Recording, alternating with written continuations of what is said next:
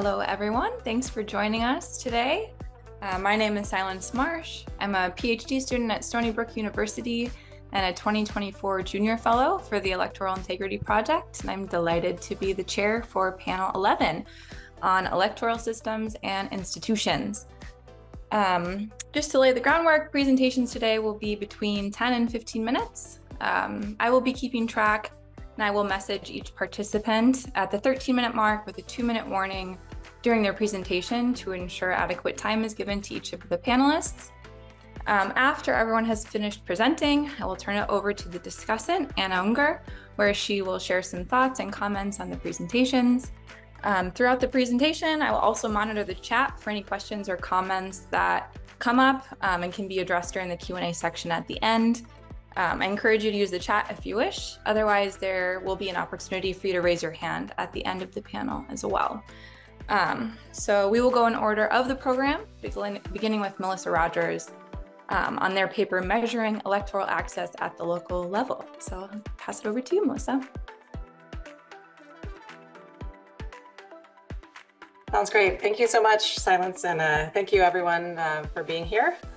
So um, my name is Melissa Rogers. I am Associate Professor of, of actually Comparative Politics at um, Claremont Graduate University, though today I'm presenting on American politics um, and our, our, work recently on um, local level elections and local level election access.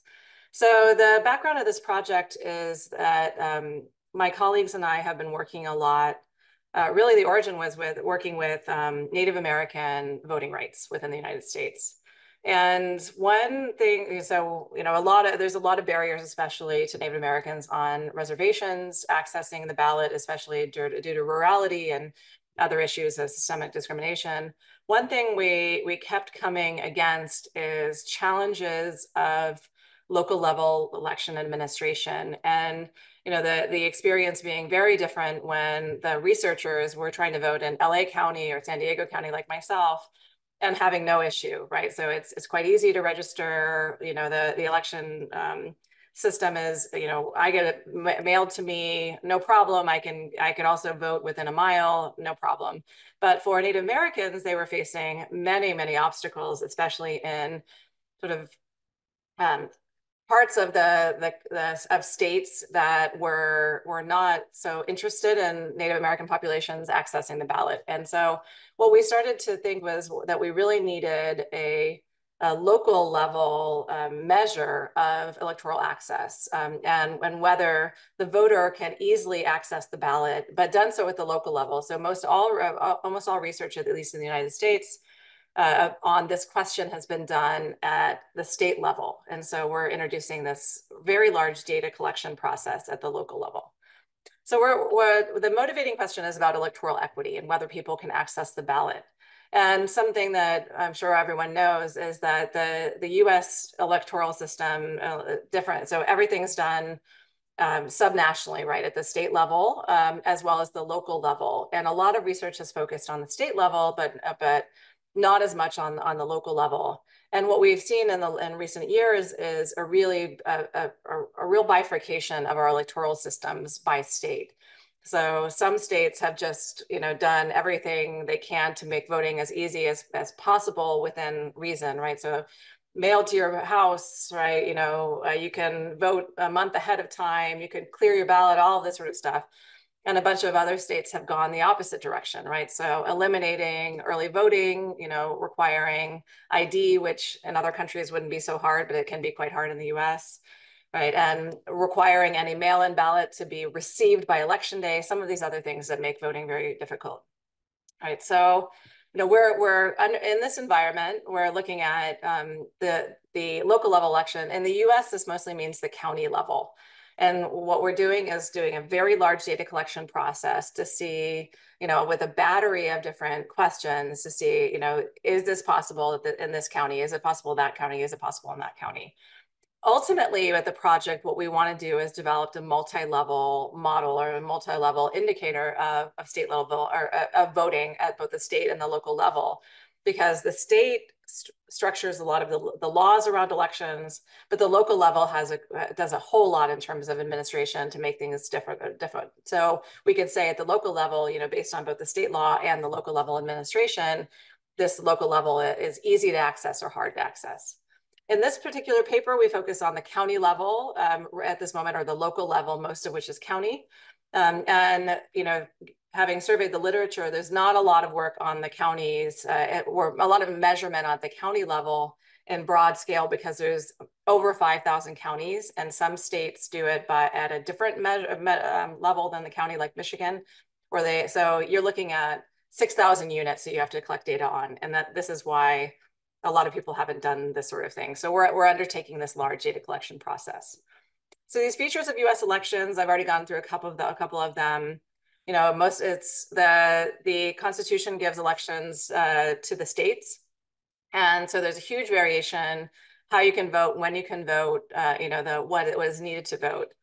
The control of administration itself for elections is at the local level, usually the county level.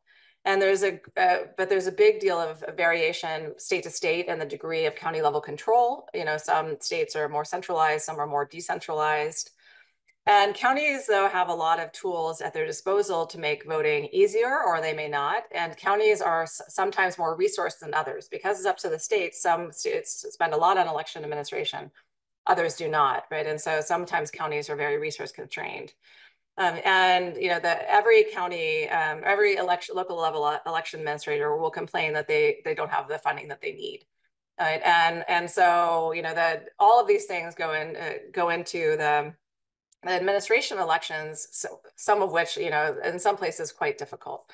So the our argument is essentially that the cost of voting may vary greatly, not only depending on the state but also depending on the county, right? And because the the county um, determines uh, the ease of registration and voting. And so we're seeing a lot of variance across these places. So, you know, there's existing measures of equity, uh, voting equity at the state level, right? So there's a few different indicator, indicators of that, you know, um, and so what we're doing, trying to do is add a county level indicator and doing so from the perspective of the voter, right? From the perspective of the voter, how hard is it for me to cast a ballot if I intend to? And the way that we're doing it is we're mostly having undergraduate research assistants conduct both web searches of the variables I'm about to describe and making phone calls to 5,000 plus county level officials asking information about, you know, is, is uh, information about registration available at the, the uh, Department of Motor Vehicles?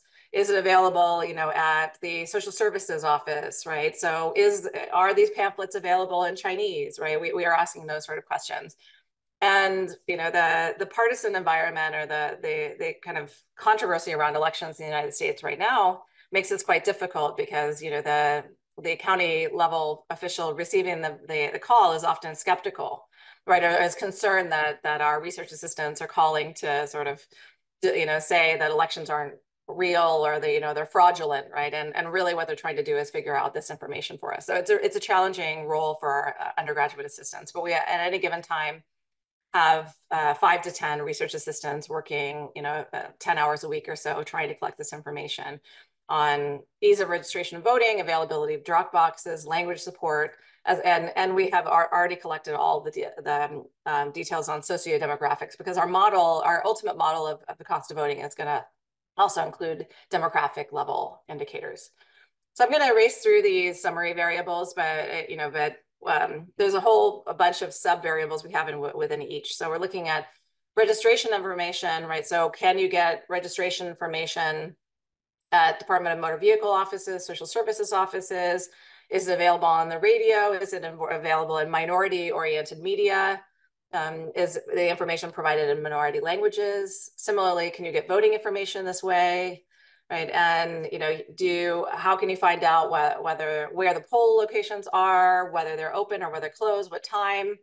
Now, are there drop boxes? We're you know, there's we have this whole battery of, of questions that we're having our our um, our uh, research assistants collect, right? So we're also looking at how easy it is to register, right? How many days before? What what do you need to register? These types of things, as well as drop boxes Um, things such as mail service, right? So um, for for me and San Diego, we I obviously have mail service to my house, and there's no problem. I receive my ballot, I send it out from my home.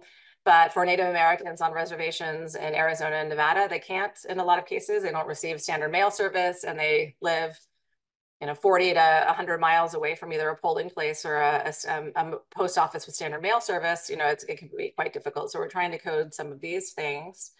Um, as well as the resources that counties have for elections, right? So whether the state is giving them money, how much money they're giving them, whether there's the support for voting equipment, the, these types of things, as well as the associated demographic, these census variables that we know, in, you know, go into the cost of voting, income, education, these sort of things, uh, mobility status, health status. So we, we've, we've completed now five states, but we've only run pilot data on two. So we started with Arizona and Nevada, in part because they have relatively few counties. You know, some, some states like Wisconsin has 80, you know, they have 80, 90 counties and um, the, we, we didn't want to start with those where Nevada and Arizona have 10, 15 counties a, a piece. Uh, we're, we're also finished with Wisconsin, with um, Minnesota, with Georgia. We're working on South Dakota and Pennsylvania and, and uh, Michigan now. And we, in, we in part liked the contrast between Nevada and Nevada and Arizona because at the state level, Nevada is considered a low cost of voting state. They have a, a state constitutional right to, to vote. Um, and then the state level indicators, they have a, a, like a very low cost of voting according to these state level indicators. Arizona is, is a pretty high cost of voting state, kind of in the middle, uh, bottom middle. So we like this contrast as well. And given our interest in Native American politics, these are two states with substantial Native American populations. So that, that was a, a personal interest to us. So we collected all county level variables for these two states. And then we created an index, right? So it, we at this point, we have an additive level um, index. We've scaled everything, made it zero to one um, to make it interpretable um, uh, for, for cross comparison.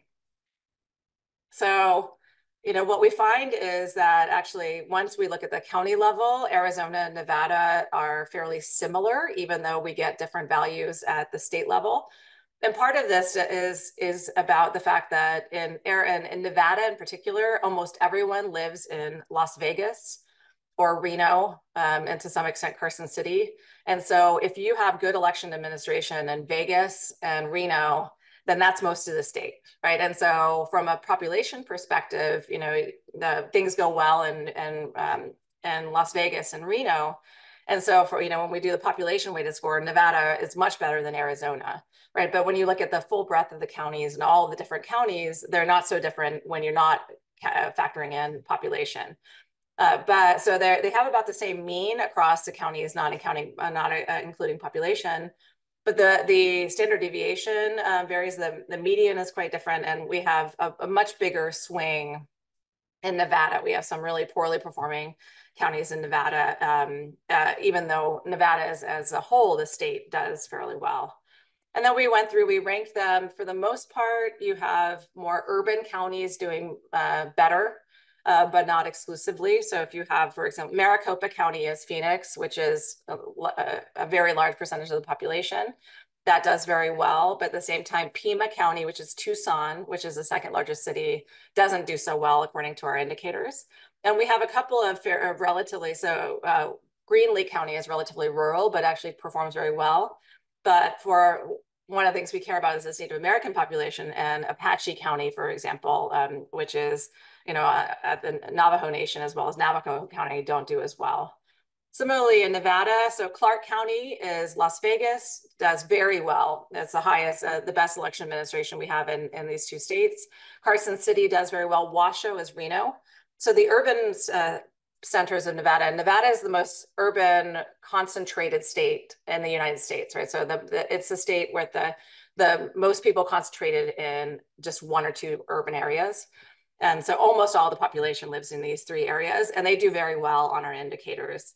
But once you get out to rural areas in Nevada, they do not perform well at all, um, according to our indicators of, of electoral access and some of these, you know, so and most of these are quite rural um, and also have very large um, either Hispanic or um, Latinx or um, Native American populations in the in the worst performing of our of our states. Uh, one one thing that um, we, you know, for our purposes, the Native population is strongly associated with poor electoral equity in these states.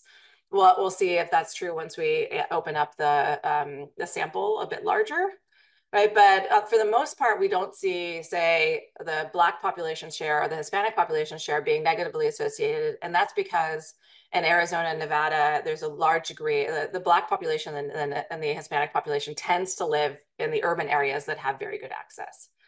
Okay, and then um, I'm almost done, but uh, so um, we did a case study of Elko, Nevada, right? So again, Nevada is a very well, good performing state um, overall, but we've done some research in Elko County, which is where they have the Duck Valley Reservation.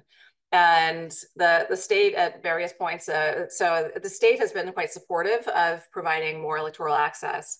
But the county has said okay we can't have voting booths on native american reservations right? You know they they did everything. They, they went to court to try to stop from uh, providing access uh, for native americans who live you know 60 to 100 miles from the next voting booth and they they went to court to try to uh, to get um, to stop from providing electoral access to Native Americans on the Duck Valley Reservation.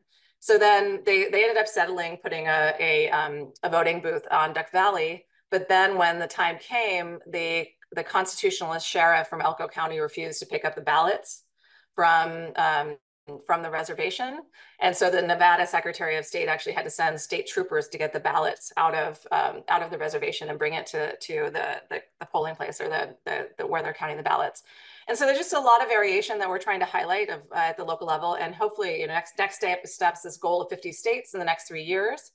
And the data set will be uh, free and available to researchers, government officials, activists. Um, and the hope is in the long term to incorporate these state level variables uh, to, get, to get a multi-level um, idea of, of the different um, access at the local level. And that's it. Thank you so much. Wonderful. Thanks so much, Melissa, for your work on such an important topic as someone who worked as a county election administrator in Minnesota for a number of years, I was very excited to see this paper on the panel. Um, as your paper emphasizes, counties have such a significant impact on shaping the voter experience. So for that reason, um, it has such key importance to the broader narrative. So thanks for your research on that. Thank you so much. Um, uh, next, I will turn it over to Rushdi Nackerdien um, from the International Foundation for Electoral Systems to present the paper, An Introduction to Effective EMB Leadership Transitions. Thank you, Silence, and greetings to everybody. Uh, recognizing it's a Friday and we're standing between you and your weekend, uh, we'll try and kind of move this along. Um, IFES has been looking at the issue of um, support to EMB leadership since 2019 when we did a, a pretty big research paper and we've we've actively been looking to support uh, election practitioners, in particular those kind of at the executive level over the past couple of years. And with our training program that we nicknamed IXL, um, we've been training more than uh, 500,000 people across the globe. Um, Something which has stood out for myself and my colleague, Staffan Darnolf, both of us work in the training and electoral operations department here at IFES, um, was the fact that not a lot has been actually done in this particular area looking at um, the transition which actually happens at EMB leadership kind of level. So for this presentation, I'm going to cover roughly four areas, which is also in the paper. Um, why transitions matter, what's the current state um, of transitions, what are some of the factors impacting transitions, and what are some of the priority areas. This is very much a nascent area of work, and we're hoping to build on this quite a lot. Um, for us as an institution, we are very lucky in that we have a global footprint. And so we've been able to draw on uh, discussion surveys, surveying our country offices and been able to kind of draw some inspiration from them as well as speaking to a number of other either senior EMB officials or looking at documentation, build, building on our other work around strategic planning and so forth.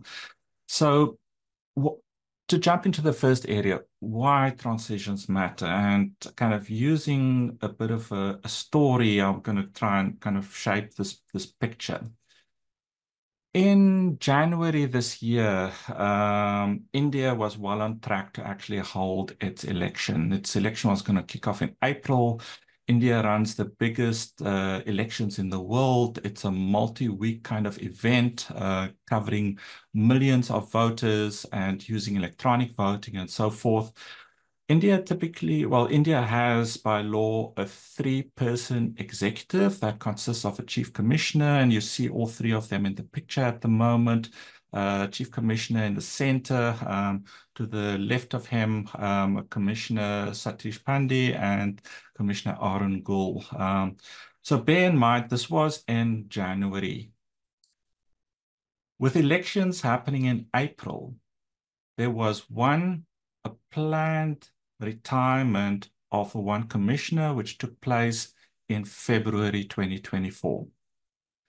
In March 2024, one month and literally weeks before the election date was announced and about a month before the actual election started taking place, there was a shock resignation of the other commissioner, which kind of left a single commissioner, the chief commissioner in charge of, um, for a very short space of time of the elections.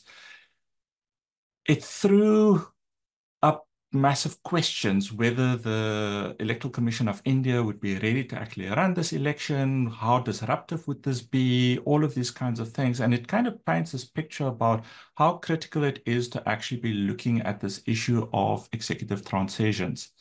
So some of the vulnerabilities which actually come up, and I put on the left-hand side of the screen some um, uh, image just kind of showing how the the the number of registered voters in India is more than than the kind of top seven other elections which are happening in the world this year. Um, and we, we're looking at 11 million civil servants of some kind, polling officials and so forth, having to administer this election. And suddenly you have this change happening at the very top of the, the institution somebody coming into a position and and the um, the president appointed in a very short space of time uh, replacement commissioners, and there's been lots of controversy about the process and so forth. But coming in, a new commissioner doesn't know the organization, doesn't know the scale and scope, and has to organize an election like a month um, into the future. They've not had a chance to develop any kind of solid working relationships or personal support systems within this particular sphere of election administration. Maybe they come from the public service and they have that in other spaces. There's a pressure to kind of navigate in the Indian case a high risk electoral event. And we saw kind of the, the coalition government that more or less came out of that um, with lots of expectations emanating around the credibility of the, the not just the institution, but the process itself. Um, there's a need to kind of build networks and coalitions as somebody in the executive kind of position to look at issues of reform, what the institutional culture is and so forth. And that's not just internally, but externally as well. And then lastly, if you're coming from outside of the electoral institution, you need to kind of navigate the pressures and the complexity of organizing elections. Um, and here we talk about this interplay between various critical principles around transparency, independence, integrity, and so forth. So you're still getting your feet wet. You have to run an election. Um, and for us kind of focusing on why it's important to kind of have the, the level of support for transitions kind of covers a number of the different areas. One, you want to limit the likelihood of derailment or disruption of any kind of electoral activity. You want to speed up time to perform and deliver better election than what you potentially might have come into. Um, if you are grooming somebody who's coming from inside the institution, if that is an option, I mean, you want to be able to retain that scarce talent and know-how, recognizing that a lot of what we know about elections we learn on the job, and there are very few areas where we can actually go and study how to actually be uh, election administrator. That that is changing. Um, and there are new opportunities arising, but it's still very much a field where you kind of learn on the job. There potentially, depending on the nature of the transition, there might be a need to accelerate the needed organizational change. Maybe it, when we look at things like the introduction of technology, maybe in elections in places like Georgia and so forth, that have upcoming elections that will be using new technologies, or a need for reforms, um, depending on the nature of the transition and what initiated the transition. And lastly, I mean, I think the biggest one is to kind of mitigate the risk to the electoral institution and the process. Nowadays, we talk a lot about how to restore, retain, retain trust in the democratic process and elections in particular. And so this these become critical variables that, that kind of underpin the importance of support when it comes to transitions. So what are the current state of transitions when we looked across the globe? And we, I'll pick on two specific elements. The first one is, what are the reasons for the transition? Is it a sudden, is it a foreseen transition where there's a retirement on the way, such as what we saw in the one Indian commissioner. We, we know that somebody's tenure is coming to an end. It's pretty orderly. There's a, because of the lead time, somebody's able to actually um, uh, announce that end of tenure uh, coming up. And we see that in countries like Australia, for example, where the current Australian Electoral Commissioner has announced his departure from the, that he will not seek a renewal of tenure more than a year out from the end um, when, when his tenure is due. Um, then you have the situation of sudden change. And sudden change can stem from illness. It could come from scandal. Uh, it could come from dismissal. Or as we also saw in India, voluntary resignation catching everybody unawares. It's it usually initiates some form of crisis within the institution, and there's often no time in terms of um, how you prepare for this. So that's the first kind of element that we thought is really critical when it comes to transition. The second one is what is the nature of the executive structure? And in our work that we kind of been looking around the globe, we, we kind of came up with three, three models. And this is something which Obviously, I mean, as we do more work in this, we'll be tweaking how this actually works. But we came up with three kind of structures. One, you've got electoral management bodies that have either a single head or a troika, kind of like in the case of India, um, as well as what you see in places like Australia, New Zealand, Canada, uh, the UK, and places like Mauritius as well, where you have a single commissioner at the top um, and poss possibly one or two deputies kind of forming that troika. They often come with a long history from within the public service and are often seasoned uh, civil servants who've either held high-ranking positions in other departments. What we then saw are two other um, components or structures that are very similar. Both of them multi-member kind of structures where you have five or more people um, leading the institution. But what we found distinct was that in some cases they come from multiple sectors, so a multi-origin kind of uh, uh, uh, uh sourcing of uh, commissioners. They might come out of the health sector, engineering, um, uh, public service, the judiciary. And then you've got another one, which is also multi-member, but they come out of a single sector. And that might be, for example, mainly the judiciary. And that's what we often see in the Latin American kind of electoral management bodies like Brazil, Costa Rica, Guatemala, El Salvador, and up until recently, Honduras had a model like that. The multi-member, multi-origin kind of model is seen in many, many different countries and often the kind of newer democracies that we see around the world, Nigeria, Ethiopia, Pakistan, Mexico, Zambia, South Africa, Armenia, just to kind of mention a few. And just to kind of distinguish again, I mean, the in the single origin one, almost all of the commissions are drawn uh, and driven out of the judiciary, and there's this tremendous amount of control when it comes to the judicial model. Some of the characteristics, um, and this speaks to some of the challenges when it comes to transition as well. For single or troika kind of uh, member entities, they've got a small leadership team. They're not always tenure limited, and so they could renew their tenure several times over. Um, they're generally seasoned public servants, as I've mentioned. The accountability is quite contained in a small structure. If you're having one person or three people, they're the primary decision makers, and decision making in that kind of entity is often seen or perceived to be pretty decisive and very effective. But what we've seen as well is that drawing people from the public service, they're not necessarily independent from political leadership. And that is a skill set that in an election uh, management kind of uh, context is pretty critical. Some of the other weaknesses, there's some vulnerability and bias um, because you've got such a small decision-making entity and governance is pretty precarious, especially if somebody falls ill or they're not available. You start sitting with issues of quorums and decision making that's standing still for a period of time. On the multi-member, larger team, uh, same with the judicial kind of uh, model. They're coming from a diverse sector of society. They might be tenure limited for one or two terms, similar uh, um, in the judicial model. Um, there's a broader technical skill set, greater diversity of experiences. Um, what we, for example, found in the single model is in a country like New Zealand, they're struggling with uh, uh, expertise around um, information technology or disinformation or information uh, integrity, whereas in that kind of skill set might well exist in a multi-member model greater spread of the roles, um, but you are looking at longer decision-making lead times. You are looking at much more complex consensus seeking, where and what could help is when you have staggered term limits. The judicial model, significant array of power when it comes to rulemaking, implementation, and rule adjudication.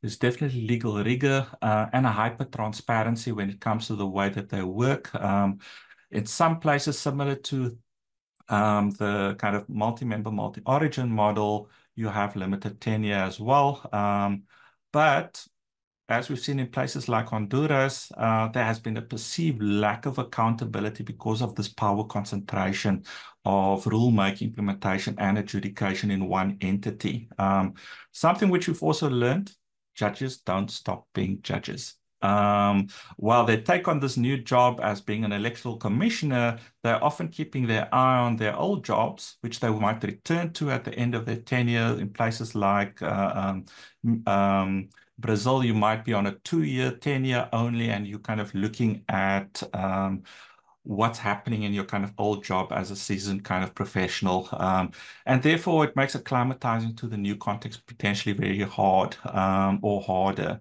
Uh, especially when it comes to the rulemaking and implementation, not so much on the adjudication side of things.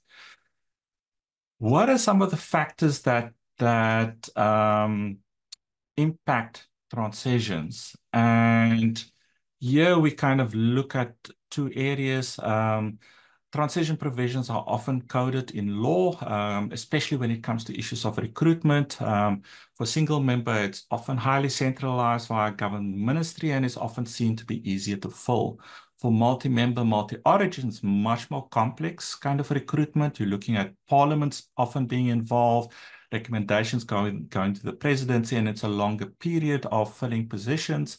Uh, for the multi-member single origin, the kind of judicial model, the judicial the judiciary often control the recruitment, and they often look at the rotation model. Um, and this is hey, what you have just about 30 seconds left. Oh gosh, okay. Um, let me talk very briefly then about uh, just the in the need, the need for kind of special provisions because this is something which we find is not really common. Um, there needs to be a kind of provision where we look at interim roles, continuing roles for outgoing kind of uh, positions, short-term appointments, um, and I've mentioned a number of different countries. We have seen places like um, uh, Kenya, Nigeria, where long there is a long-term risk when it comes to certain um, where, where vacancies are not being filled. Um, lastly, I'll just kind of um, talk about critical lessons. We need more regulatory frameworks which actually talk to um, transitions. We need active written down plans. We need strategic communication kind of models. We need to we have we need stronger teams and we need to be look beyond briefing books where we look at coaching and mentoring kind of models and then carefully look at the kind of timing of transitions. I won't get into this, but these are some of the critical priority areas that, that incoming um, uh, executives need to look at the strategic plan, issues of electoral crisis, and national security. It's a complex area of work. often overlooked, understudied within the elections field. Um, it's an area that we're needing to do a lot more work on, and IFES intends to explore more of this in the in the future. Thank you for that. Great. Thanks, Rushdi, for sharing these valuable insights on the important executive leadership um, transition guidance. Um, next is Yasmin Calmet with us today. Oh, not seeing her. Okay, in that case, we can transition to David Olusanjo from Florida International University on the paper, The Impact of Electoral Law Reforms on Voters Turnout in Sub-Saharan Africa Countries.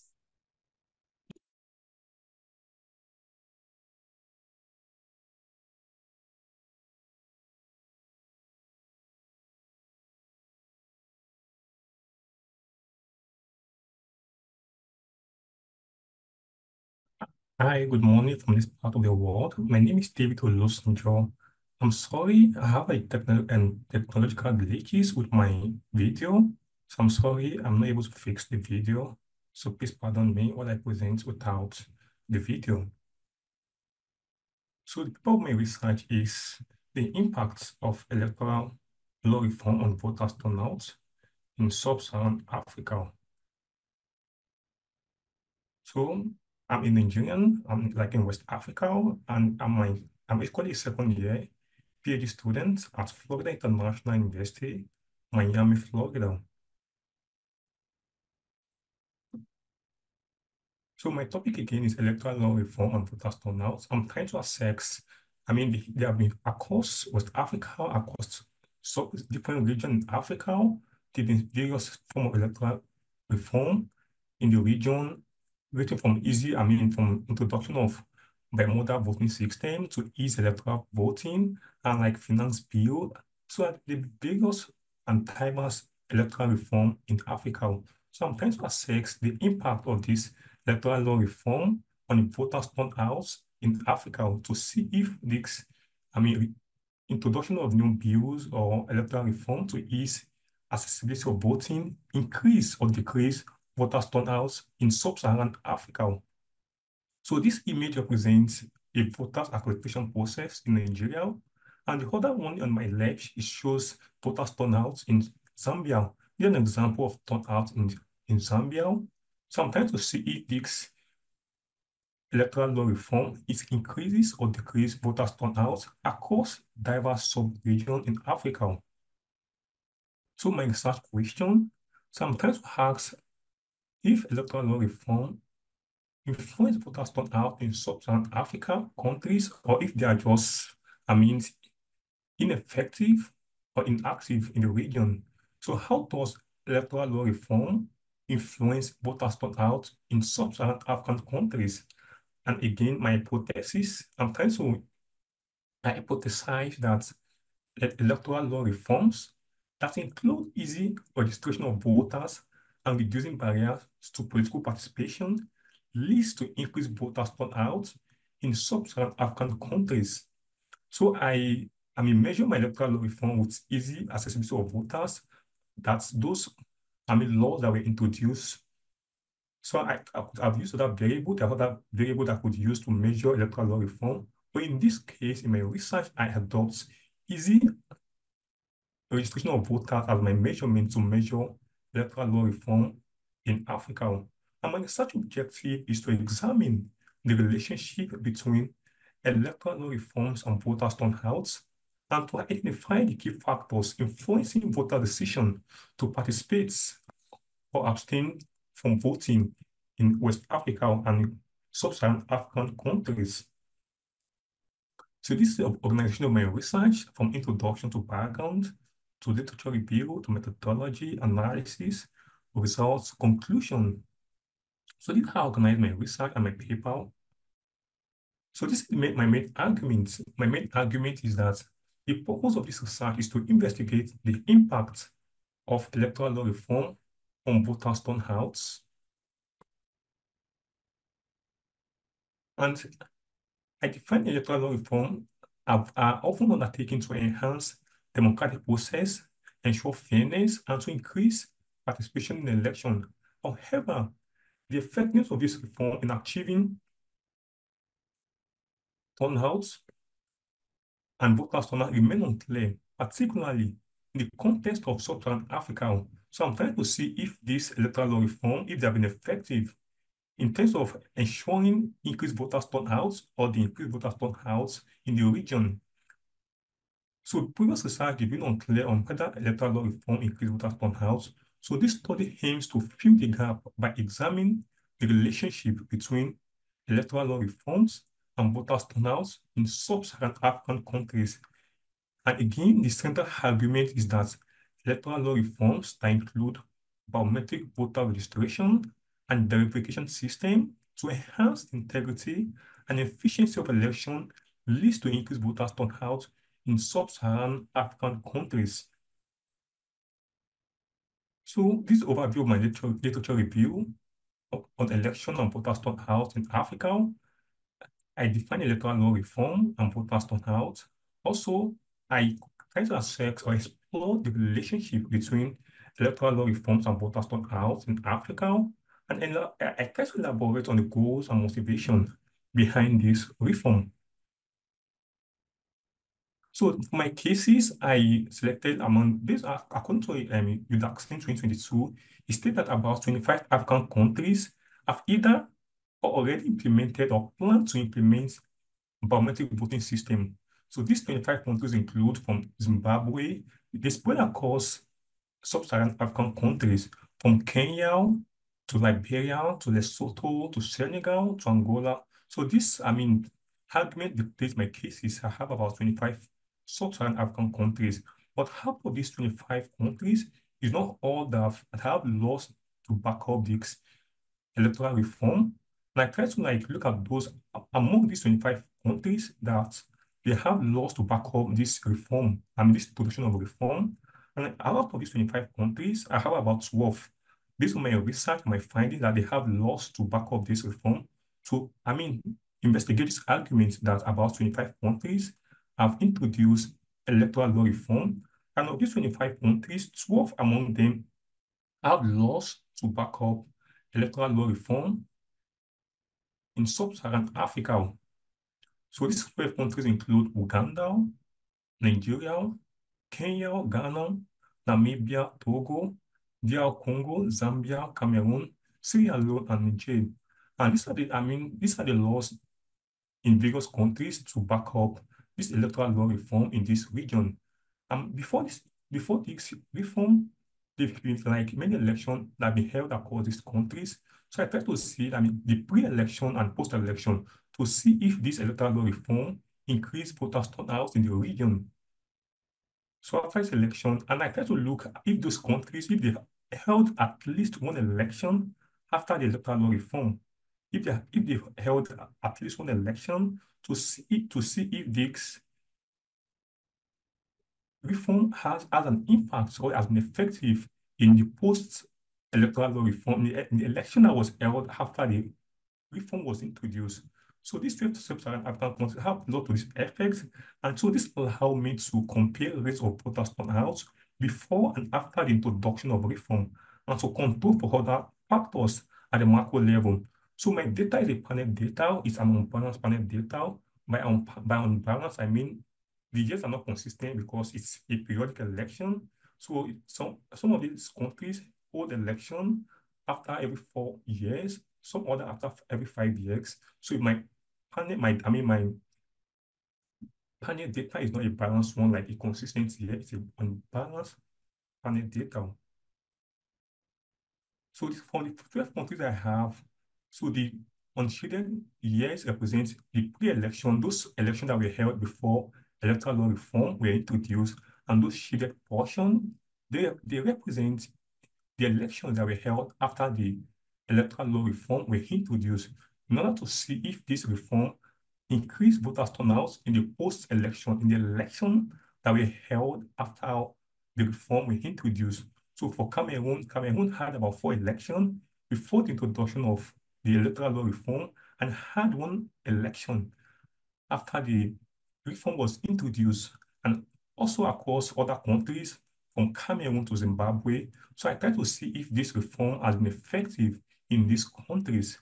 So again, the unshaded portion represents a pre reform, while the shaded portion, they represent the post-reform. So I, I ordinary least square given that my dependent variable is an interval or continuous variable. So I, I hypothesize the ordinary least square and I use total Stonehouse as my dependent variable to measure the impact of this stone house. And my main or explanatory variable is electoral law reform, and this is a binary variable. So I'm going to show in the next slide how I measure this variable. And these are my control variable, presidential electoral formula, incumbent, whether it whether the incumbent or the present person in office, whether the person contests for election or not, and the time of sequencing, perhaps if the election were held concurrently and not concurrently, I mean with the legislative election and the presidential election, if they are held at the same time, or they are held on different dates. And also I, I try to look at the impact of corruption, perhaps if corruption might probably increase turnout, turnout buying, if perhaps if the turnout could have been influenced by both turnout buying or like exchange of money or gifts to increase the electoral turnout. So that's why I try to like, I mean, account for whether corruption could have increased turnouts in the region. So these are the list of variables that constitute my, I mean, my measurements. So again, I measure turnout as number of votes over the voting age population. And this is source of my data from Institute for Electoral Democracy and Assistance idea. And my presidential formula and try to see if, if the election is based on plurality or majoritarian election. I mean, if the election was, I mean, majoritarian means if the election is held once, and the plurality election, like at least more than 50% of the votes. So that's I try to measure the presidential formula they use. So if eh, no, if no like candidates emerge got able to get about 50% of the votes, they have to go for a second one off to see, to just have the just to have the majority of the votes. So this, is, this is presidential formula, and it's a dummy variable.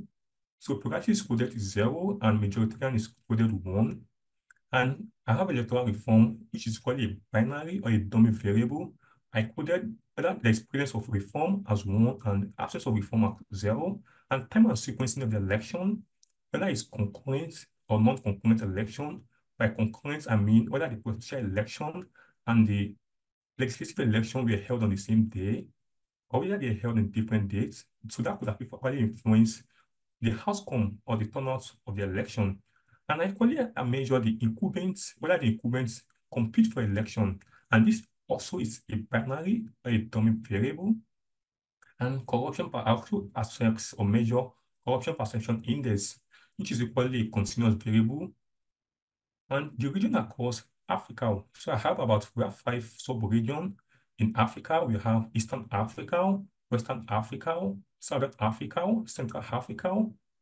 So are the five sub-regions in Africa. So this is a polychotomous um, variable. So this represents the descriptive nature of my data. This is the descriptive type of variable included in the, in the analysis. So I have about mean, 75 cases for, my, for all the elections that were held in these 12 countries, both pre and post-election, so I have about 25 and 75 elections spread across these 12 countries. So this represents the descriptive nature of my data. So this percentage of turnouts across these 12 countries. So I have from Cameroon to Zambia to Zimbabwe. So this percentage of turnout in various sub-Saharan African countries. Again, this shows the percentage of voters turnout in this sub-region just to represent pictorially many uh, the turnouts, just have an idea of the sense or the outcome of the turnouts in this different sub-region of Africa. So having done my analysis, I did my bivariate analysis and a multivariate regression. And so unfortunately for me, I mean, none of my variable is, I mean, my I think I'm not able to get my hypothesis. My hypothesis was not supported. And so my this shows that the impact of electoral law reform on voters turnout is negative, and it does it didn't increase I mean, those reforms that we introduced did not increase voters' turnout in, in sub-Saharan African countries. And also, the impact of presidential electoral, um, the presidential electoral formula was equally negative. It shows that this is not equally statistically significant. So I don't have a substantive interpretation for this because it's not statistically significant. But also the time and sequences, and of course, other variable I have as well. So it should have known my variable is, I mean. Hi, David. There are about 30 seconds remaining. Okay, thank you Thank so you. much. So I so giving a like empirical analysis, so I had to like did I had to do a qualitative cases to show what could account for this because for I mean the impact of electoral reform on voters turnout and based on my qualitative cases aside from my quantitative analysis, I did the qualitative cases in Nigeria, Zambia, and Kenya, and showed that during the election that we held after the election, there was so much intimidation, there was so much harassment, and like because of the like management of the election by the electoral management bodies, we were not effective in terms of organizing the election. So this actually reduced, so there was reduced or reduction in turnout, in turnout after the reform we introduced. So this, this, I mean, this is my presentation. It's still an ongoing research. So thank you so much for listening and I appreciate for listening. Thank you so much. So that is the end of my presentation. Thank you. Wonderful. Fascinating project. Thank you, David. Uh, and thanks to all of the panelists for their contributions today. Next, I will turn it over to the discussant Anna Unger for up to 15 minutes of questions, comments, and her general feedback on all the papers in this panel. Okay, thank you, Sarah, and thanks for all the all the really interesting papers and the presentations as well. And though I'm, I usually say that I identify as a qualitative scholar because I, I am, so my strength is not, not, not quantitative studies, but, but qualitative issues and, and let's say legal background I really enjoyed and even I understood, uh, I would say 80% of all the papers with the, with the quantitative issues. Uh, first with, um, uh, Melissa and uh, her team's paper, I really, really liked it, especially that focus that you explain for the readers uh, why the local and county level matters. Uh, you mentioned in your paper that the US system is highly decentralized. From my European perspective, is extremely decentralized. It's not simply highly, it's really hard to explain my student why the local and county level is so interesting. We usually compare uh, the the the state level, one state from with many different counties, and they are really shocked how many basic differences can happen, can occur in the U.S. election compared to, for instance, uh, uh, to to Hungary, even Germany, which is a federal state, and they cannot have such. Uh, uh, they are not allowed, I mean, to have such dif basic differences. So this kind of county level approach is really interesting, I guess. And uh, also when I started to read the paper, I had the fear that, uh, oh my God, once again, a new index. Uh, we live in the time of indexes. Everyone wants to, uh, to, to invent a new index. And some of them are usually a kind of, you know, this kind of data for data sake index. That we have a new data, but we have, we it's not clear wh why uh, why it is necessary to have a new data. And I really like your data set and your, your index because it provides an opportunity to compare the US level uh, by county by county, not only state by state, but county by county. Uh, so it's, uh, uh, it, it, I, I think it, it is important and also maybe it would be, I mean, for the reader's perspective, uh, it would be interesting or it would be a little bit more informative to explain the other indices or to compare them how many and and what is the novelty of your index uh, beyond the fact that the county level matters really much uh, in, uh, in in the American elections. Maybe I would add some examples like you know not not like, like kind of uh, of of case studies or examples that this happens within the same state in one county or another. You mentioned problems that that may vary, or you mentioned issues that may vary. county by county, registration, funding, whatever, but maybe with some real life examples, it would be more obvious or more understandable, more consumable for the reader why it matters that much. And also it would all already highlight the, the relevance and the importance of that index that you test um, in the example of two states, but it would show through the examples uh, the real relevance of the at the US uh, level as well. Um, and though I said that I'm not a, a, a quantitative scholar, uh, one thing that I missed a bit from the from the index itself, uh, and I really liked the argument that the cost of the, what you really focus on is the cost of the voting. What from the perspective of the of the voter, but one uh, maybe maybe I'm wrong and maybe you cannot even measure it. But maybe I would insert one more question to the voter, but what does he feels or she feels as a cost of his or her votes?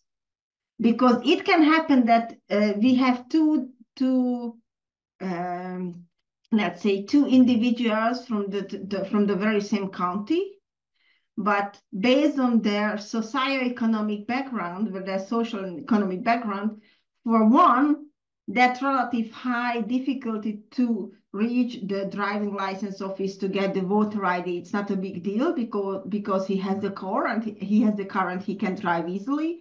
And maybe for another it's a big deal because she has no car and she has to take the bus, the public transport, which exists or not in the in that part of the US. And maybe that to to just to put one more thing that okay, what is the personal um, sense of cost for casting my vote could show the differences between if you live here with this background, this is what you feel if you live there with with that background, it could it could also uh, show something because uh, all the variables you you use in the in index are for electoral management issues and participation and legal and voting rights. It's okay, but I would probably wonder what is the personal uh, personal feeling or or impression of the voter herself. And here I would like to just mention we had a very interesting paper a couple of days ago about the voter satisfaction. It was also kind of index for also from the US and the, the how to measure voter satisfaction and maybe beyond the fact that you can compare and you can provide a very detailed index of the inequalities among the many uh, US counties it can be maybe in the next step, it can be, it could be also interesting to merge this index or to put this index into the results of the voter satisfaction. Because maybe because you know when you you want to measure satisfaction and the cost of index it's always a bit it cannot be how to say neutral. It cannot be absolutely objective. It may have some some kind of of, of subjective part or or or, or a kind of bias part. And it's always interesting when I have students from the US and also from Europe, they can argue a lot for uh, self-registration, you know, for, for, pros and cons. And it is really interesting that a lot of a lot of issues in the Amer American uh, voting rights that is almost outrageous and and causes high scandals when we discuss, I mean, among um, Europeans, it's absolutely okay for the for the uh, Americans and vice versa. And maybe this would be interesting to to check whether the satisfaction with these rules and my personal assumptions about the rules, how um, how do they affect the outcome? But otherwise, I think that the novelty is absolutely clear of the of the index, and I I would be really surprised if you couldn't publish this this uh, paper right now when you have so much yeah so much I, to say the least so much expectations and and around the, the coming election so everyone focuses on that election and i think that the the van on Republican Democratic divides and the, the different lawmakings and the outcomes of the different procedure uh, are in the center of the of the debate. So probably your paper could be could be a very important, and I'm sure it is a very important paper because it gives a tool for the American people, also the experts, to measure the inequalities. And I don't think I have to explain, uh, you don't have to explain why inequality matters in this way. So I just wanted to say thank you. And I really hope that we will read it in, in a published version soon. Okay. Uh, then the second is Rushdi and Staffan's paper about leadership transition, which I also really like because my idea is that, uh, of course, institutions and procedures matters, but the person, personal aspect is also important. And uh, right now, here in Hungary, we are just uh, right after a third recount of the Lord Mayor election elections of Budapest, the capital of Hungary, and the personal expertise and the personal background mattered a lot. Whether if we have if we have people who who know what their job is, what their responsibility is.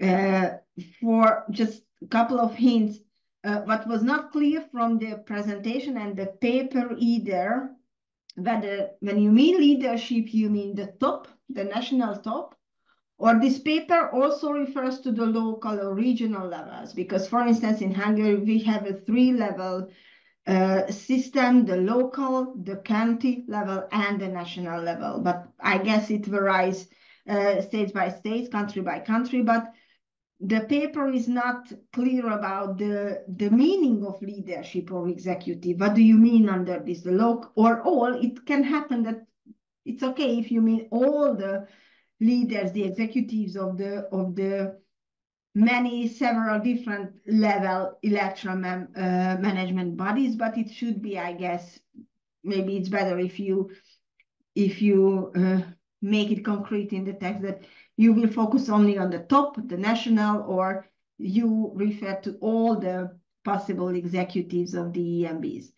Um, and uh, one more thing, maybe two, is that uh, I had the feeling, I had the impression when I, I was reading your paper that for me it was a bit kind of, I wouldn't say naive, but I would say too objective towards the political side. That the politics and the politicians take it for granted. So I had the assumption that the paper assumes that politicians and politics are not really interested in this issue they let the, the autonomy of the system, regardless of the system, whether it's a single led or three members or multi, whatever. But politicians are not interested in this topic and they have no saying in this topic. However, the reality is that whatever transition system we have, it must be regulated. And it's the lawmakers who regulate it. So if it's the politicians who regulate it. And I really, I, I, I, I think it, it could be an interesting part beyond the description, beyond the, the, the, the, the explanation of the different systems that where what is the point or where are those points where politicians and politics can appear, can have a decisive point or can have an influence because EMBs are not unpolitical institutions. They are always they are always results of political decisions, even if they are covered by expertise or bureaucratic uh, tendencies, whatever. Politics is behind Uh, the, the, the, the instruments and the institutions. And maybe it would be interesting to highlight this also, even in that case, if the transition is not regulated, whose interest is not to regulate such transitions, for instance, whose interest to have a chaos and why? Why it is who who who are the beneficiaries? Who are the the what are the pros behind such institutions and how can we prevent uh, these these situations if we want to. Maybe um, this is what I, I really miss, and I really like the comparison. Really, it was it it, it was it was really an uh, uh, uh interesting chart where you compare the Indian elections with the remaining so-called remaining countries. It is shocking to see how many people uh, for for how many days have to vote, and we are not. And if we add the other countries. Uh, and also in this respect, it was a bit interesting how the Indian elections were undermined in the international news for weeks, though the stakes were, were quite high, and how other countries' elections were a bit over over covered or I don't know uh, highlighted though the, the, the relative scale of, of uh, electorate or the relative scale or relevance of the elections were a bit less. Uh, okay, and, one more thing uh, for this transition issue is to maybe it could be also interesting to add the state's own regulations about bureaucratic bureaucratic institutions and transitions or other uh, important constitutional institutions like courts um, or, or, auditory uh, courts of auditors or whatever, whether they have a transition procedure and rules or not. Uh, okay, and final, David, uh, the, the, the, the, electoral reform and turnout, the consequence and the, the, the correlations.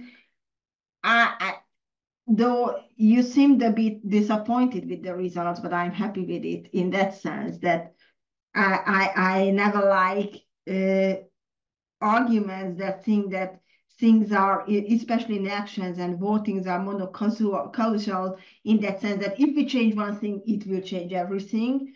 And the, the expectations toward voter turnout is always like, okay, if we ease the, the registration or if we ease the uh, the casting of votes, then the turnout will rise. And I, I honestly, I'm happy that your paper has the result that no, that case is not that easy. That's not simply, there are no simplistic uh, um, correlations between or simplistic uh, consequences between these two facts. What is uh, this? This may sound uh, minor uh, comments, but I don't think they're not. I really like that you collected, you did a, a literature review about the reform, electoral reform. However, I have a real problem with this word, maybe because I'm from Hungary and we are we, we live in a constant constant electoral reform, though they are not reform in that sense. That when we say reform, we tend to think that something is not really good and we want to repair it there is a kind of suggestion behind this word reform that we we not simply modify something but we make it better and in case of elections just making changes just modify something it's not easily or it's not necessarily leads to reform in that sense that it is it, it makes it better or it will be a, an easier access so maybe i would somehow highlight this issue that not every electoral modification is a reform in that sense that it will it will help or it will ease uh, anything. And also uh, the role of lawmakers as politicians who are politicians who are not experts is not really explained in the paper, I guess. So maybe it would add an extra value to the paper if you mention the, the intentions behind the lawmakers' actions. Why do they introduce such bills? Why do they want to, to reach such reforms? Why do they promote such uh, uh, modifications in electoral law? Because it's usually it's not for, I would say it's not kind of, you know, um, non, uh, I would say it's not a, uh, a, a non uh, selfish issue. They are selfish politicians who who wants to get something uh, in a, uh, in exchange for these reforms. And also maybe it would be interesting because you you do this analysis and you you have the conclusion that okay just simply changing the registration or easing the registration for the people won't raise the the the the turnout. However it would be also interesting if you add if you do the case study of these 12 countries if you also summarize the other factors that may affect, that may have an impact on turnout. I would say public health, public safety, public security, for instance. If we had elections during COVID, probably we couldn't leave our home so easily, or whether uh, voting from abroad is an option or not, especially in those countries where thousands of, of people left the, uh, were forced to leave the country or left the country because of asylum issues, because of wars, because of security or or health or or hunger or whatever. So what are the the extra factors or the time of the of the elections? If we had elections during summertime in Hungary, I guess less than 50 50% of the electorate would come or if you have two days long election period it may raise or it not. So there are other factors that may affect the turnout and you mentioned them in the paper but you not maybe it would add an extra value of the paper if you analyze them in detail country by country or if you focus on those countries and analyze that what could have been the other factors that affected the decreasing or not increasing of the turnout because it would add an extra argument, an extra explanation, explanation beyond the fact that you tested the hypothesis and it turned out that uh, easing the, the registration isn't lead, it doesn't lead to to higher turnout. How, otherwise, I I really like the paper and I do hope also in your case and Rushdi's case that you can publish it soon and and I can give it to my student for literature. Thank you very much.